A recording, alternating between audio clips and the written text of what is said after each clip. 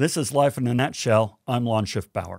Come every November, December, I really like to ask people if they set New Year's resolutions. Thing is, most of the time when I ask, folks kind of look at me like it's a childish question and say, No, I don't do that. And this really surprises me. I find it kind of astonishing.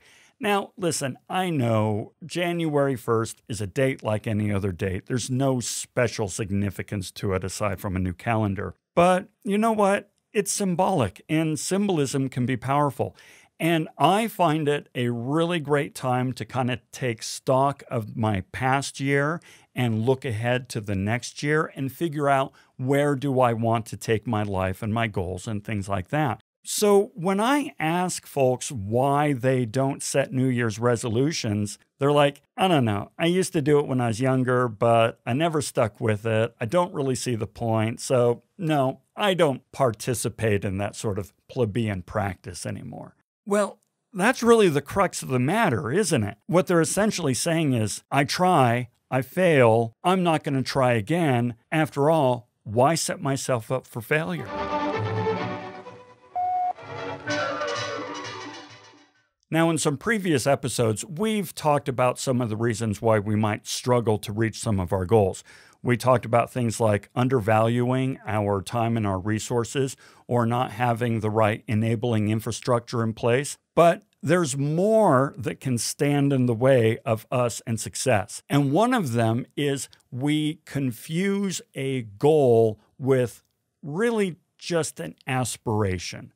Now, what do I mean by this? Well, let me show you. Oftentimes, when I ask somebody, hey, tell me about a goal you have, they'll say things like, I want to write a book, I want to lose weight, I want to earn more money, I want to start a business. These are great and marvelous, but they're not goals. They are vague aspirations, something that you kind of would like to achieve one day, but you're not really putting any money on the barrelhead. You're not really committing yourself to it. Now, once again, they are powerful because these vague aspirations are really the impetus, the beginning of a good, solid goal and objective. And that's what we need to do with them is kind of make that transition. But alone, no, an aspiration more times than not is not going to happen. We need to put some planning and some thought and some discipline behind these aspirations and turn them into really good functional goals. Now, how are we going to do that? We're going to do that by being smart. I don't mean smart as in here, we're all smart. What I mean is we need to make them specific, measurable, attainable, relevant, and time bound. That's the grand SMART acronym. And so I want to take a moment to show you how we would use this tool, this structure, to help turn a vague aspiration like write a book into a very actionable goal. So, as SMART starts with S, let's start with specific. Specifically, what kind of book do you want to write? Are you talking about a fiction novel? Are you talking nonfiction? Are we talking children's book? How to manual, instructional guide, technical guide, autobiography? There's any number of genres out there that you could pursue. What kind of book are you going to write? Next is measurable. How are you going to know when you are done? What does success look like quantitatively? So, in the case of a book, is it when you've written a certain number of pages or when you have both the text and the graphics together? Is it going to be when you've done your final editorial pass? Is it not done until it is for sale on Amazon for the world to purchase? What does success look like? How are you going to know that you have achieved your goal quantitatively? That brings us to attainable. Now, this is really kind of a reality check for us.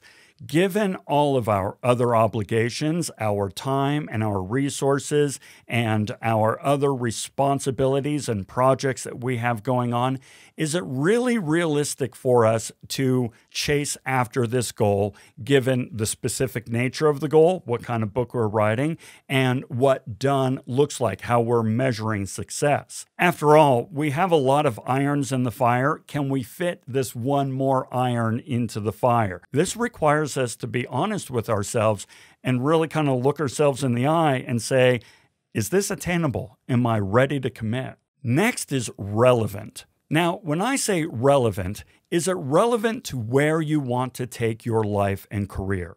All of us have visions for where we want to be in the future. Will this specific goal of writing a book help you reach your lifelong ambition, your lifelong vision of where you want to go. Now, if you want to take your life in a place where you're a writer, where you're an artist, where you are, you know, contributing to literature in one way or another or promoting a service, then yeah, writing a book might be a fantastic idea. But if you're like, no, my lifelong ambition really has nothing to do with writing books or anything even ancillary to that, I just think it would be a cool idea to write a book, then I don't know that this is a really relevant objective for you. Finally, we have T, time bound. Now, this is important because if we don't set a hard and fast date, then this goal can just kind of go on forever. By setting a date, we create a forcing function, something that really keeps us moving forward, progress against schedule, so that we can actually put in place the tasks we need to accomplish to reach our objective. So set a date and really build your plan around that date. And that's, in fact, one of the really powerful aspects of this SMART structure. By setting a larger goal around writing a book, we can then break that down into smaller, manageable tasks that we can then execute to each month, week, and day. So, a good SMART objective is a great starting point, certainly a lot better than a vague aspiration. Now, as you notice, this is not rocket science. This is not a particularly complicated concept. But please, don't let its simplicity fool you. This is a very, very powerful tool. After all, the internal combustion engine is a pretty darn simple machine, but wow, the things it can do. Same thing goes with SMART objectives. Trust me, it's really going to help bring the focus and discipline you need to be successful in reaching your goals. But of course, you don't have to take my word for it. You can do it. Do it right now. Take your goal, take a moment, and figure out how it fits in this smart structure. And of course, as always, do me a favor and share this with your friends and families and coworkers because they can benefit from this as well. Again, it's not complicated, it's not rocket science, but it is so powerful. Okay? So give it a try and let me know how it works out for you. All right? And until we talk again, have a fantastic day.